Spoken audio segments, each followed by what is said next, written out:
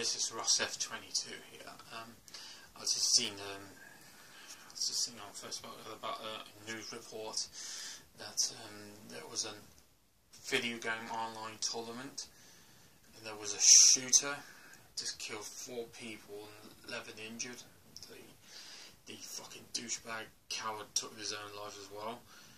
But, um, oh, I don't believe I don't believe this left wing media bullshit and all that, but all I can say is to um, that um, to, for for these four people who was killed, rest in peace, guys.